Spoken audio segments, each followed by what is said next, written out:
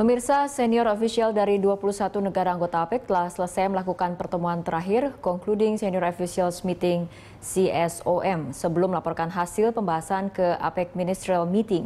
Dan untuk mengetahui perkembangan terkini dari KTT APEC, kita bergabung dengan reporter Berita Satu Amanda Cininta di Nusa Dua Bali. Amanda, apa saja hasil dari pertemuan senior official negara anggota APEC? Ya, Fitri dan pemirsa, Senior Officials Meeting menghasilkan kesepakatan antara negara-negara anggota APEC yang akan semakin fokus terhadap dua hal, yaitu usaha mikro kecil dan menengah dan juga permasalahan infrastruktur.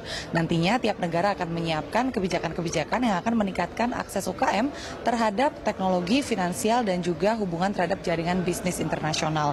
Ini supaya UKM dari setiap negara anggota APEC dapat dihubungkan ke rantai pasokan global dalam rangka inclusive growth agar supaya angka-angka pertumbuhan ekonomi dan rantai pasokan global tidak hanya dikontribusikan oleh bisnis-bisnis besar dari negara-negara anggota APEC tersebut, namun juga UKM-UKM-nya.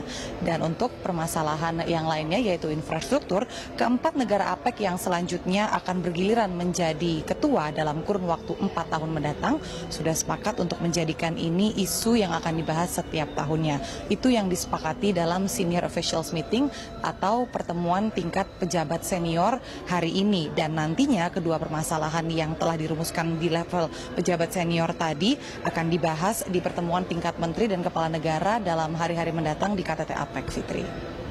Ya, Amanda Indonesia ini kembali gagal memperjuangkan CPO dan juga karet untuk masuk dalam daftar produk ramah lingkungan negara-negara APEC. Lalu alternatif apa yang disiapkan oleh pemerintah Indonesia terkait hal tersebut? Ya, Fitri dan juga pemirsa seperti kita ketahui CPO atau minyak kelapa sawit dan juga komoditas karet gagal masuk dalam daftar ramah lingkungan APEC semenjak tahun lalu. Nah, di tahun ini pembahasan perihal ini tidak kembali mengemuka karena apabila hal itu terjadi, maka sejumlah negara anggota APEC lainnya juga akan ingin memasukkan komoditas unggulannya ke dalam daftar yang sudah berisi 54 produk tersebut.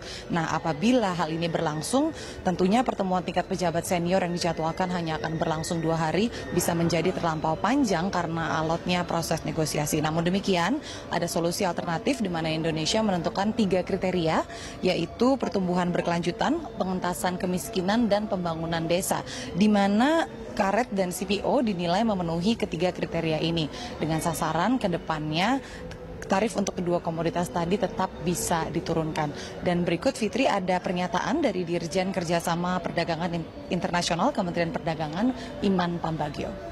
Masalahnya bukan uh, adanya penolakan bahwa CPO itu environmental goods, tapi lebih pada proses. Sekali lagi, APEC ini non negotiating forum. Tahun lalu melalui negosiasi yang demikian berat.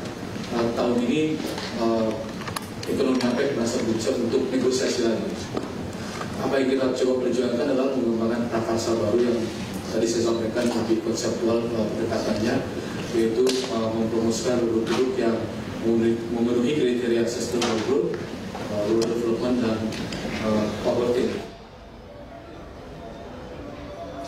Ya sejauh ini demikian yang dapat kami laporkan dari KTTAP kembali ke Fitri di studio. Baik, terima kasih Amanda. Pemirsa demikian laporan langsung Amanda Cininta dari Nusa Dua Bali.